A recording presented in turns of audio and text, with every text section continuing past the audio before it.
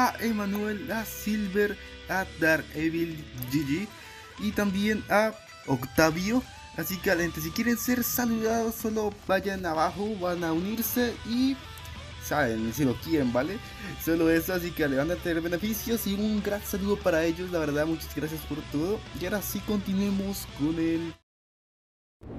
Muy buenas a todos y a todos y sean bienvenidos a un nuevo video de Dragon Ball Leyenda y ya estamos aquí gente.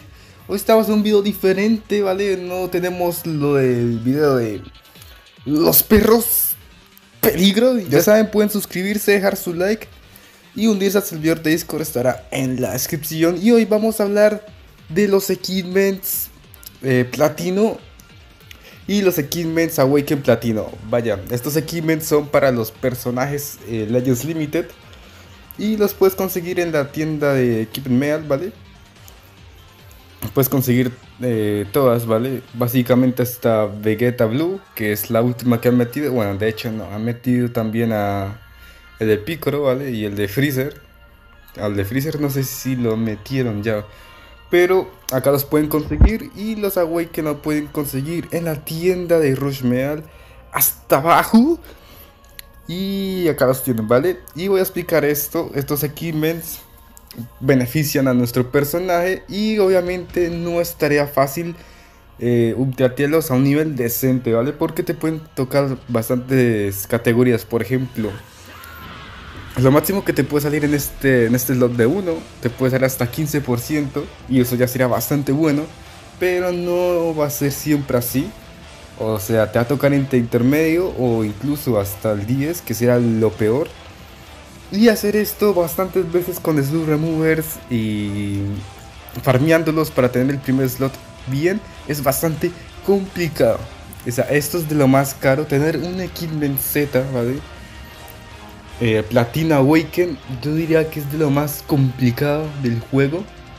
A manera de hacer, o sea, más que te salga un LF, yo creo que está al mismo par, diría yo, pero no es tan caro, ¿vale? O sea, es difícil como un LF, pero no caro de CCs, porque esto lo tengo. Mira, yo sí, acá esto me gasta bastante, debo decir. De hecho, yo compré unos equipments y esto me costó bastante, ¿vale? Me gasta muchísimo. Uno me causa 2000, que eso es bastante. Y con eso me puedo comprar bastante souls, a lo que me refiero. Y bueno, lo de menos son las equipos porque esas sí te la dan bastante fácil, ¿vale? Y eso sería todo gente y voy a mostrar, a proceder a mostrar lo que obtuve con este personajazo. Bastante impresionante. Y ya. está chicos, la madre, ¿vale? Brutal. Y hoy voy a hacer, ¿vale? Un mini tutorial de cómo tenerlo o cómo lo obtuve. De hecho, tenía bastantes ganas de tener este Kidman desde hace bastante tiempo. Y como ven acá en el primer slot, ¿vale? Lo tengo a 12.30. Cosa que está genial. Bastante, bastante genial. no te lo voy a negar. Pero obviamente ustedes traten de farmear bastantes equipments. Como saben, el primer slot no se puede remover. Así que si lo pudiesen llegar a tener en gema amarilla, que la gema amarilla te indica si ser un equipment Z y si es gema roja es Z Plus. Y vale, traten de tener la primera gema en amarilla, en este caso yo no lo hice porque estuve, digamos, mejorando varios equipments a Weekend con la opción de mejorarlos todos, ¿vale? Porque reuní bastantes, esto come bastante energía, skip tickets y tiempo, ¿vale? Esto es lo más complicado que he hecho en la vida, la verdad. No, en, la vida del juego me refiero. Y ya está, ¿no? Eh, los farmeas bastantes, como acá ven tengo otro. Los farmean bastante tiempo, ¿vale? En la tienda los compran, compran bastantes. Luego los venden, los vuelven a comprar hasta que tengan... Eh, vale, después de eso, ¿vale? Los mejoran, luego los mejoran con el Awaken por ejemplo, acá tengo bastantes de estos. Y acá eh, lo que va a pasar, ¿vale? Es que te va a formar un Equipment Awaken de platino. Y te puede tocar muy bien 10%. O si eres muy suertudo. O si eres muy buen farmer o farmeas bastante bien. Te podría llegar el máximo de 15%. Aunque eso es bastante difícil. Porque hacer esto también te cuesta bastante souls. Esto sí te gasta bastante. O sea, te digo que esto es bastante serio porque gastas bastante super souls, son normales y no es que gaste pocas.